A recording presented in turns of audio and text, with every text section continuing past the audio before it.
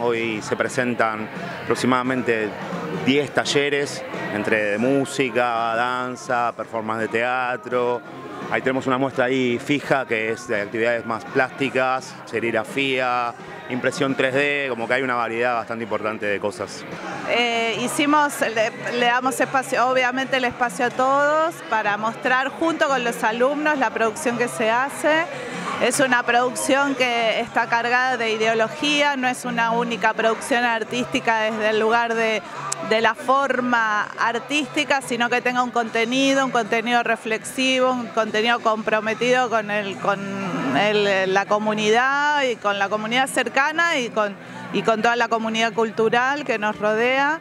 Eh, ayer presentamos un libro que es eh, un libro de cuentos que ha publicado Freddy Filete Fernández, que es nuestro maestro del taller, a lo largo de dos años en su Facebook. Freddy partió este año, en marzo, el 29 de marzo, y era un proyecto que veníamos pensando juntos, eh, armar este libro.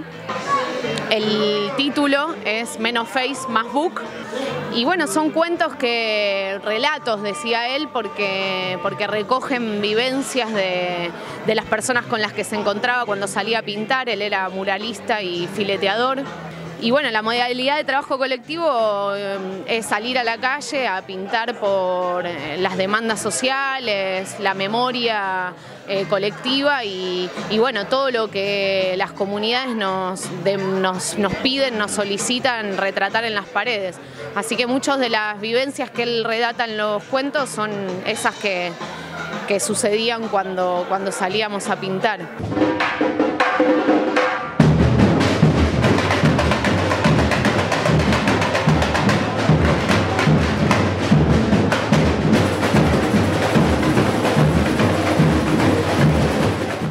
Esta convivencia que tenemos dentro de IMPA es una convivencia fuerte que se generó con trabajo, con, con acuerdos y que nos permite trabajar no solamente a los productores de la cultura, sino a los productores también industriales, a los productores educativos, que exista, digamos, ese entrecruzamiento entre la cultura, el trabajo y la educación, porque aparte del centro cultural, bueno, ya sabemos que funcionan otros colectivos, eh, nos mantiene muchísimo más unidos, me parece que es una de las identidades más importantes del IMPA. En parte está sostenido, digamos, no solamente por el trabajo de la cooperativa, sino por un montón de colectivos que vienen trabajando de otra manera, de manera independiente, autónoma, en el espacio y bueno, gracias a los trabajadores también que nos, que nos permiten desarrollar nuestras actividades acá.